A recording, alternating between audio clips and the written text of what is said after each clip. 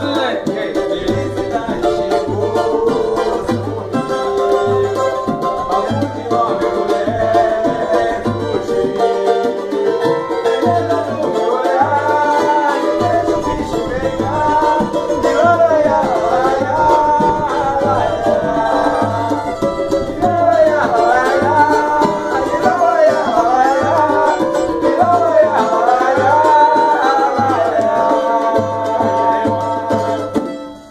Semana que vem já aprende a letra.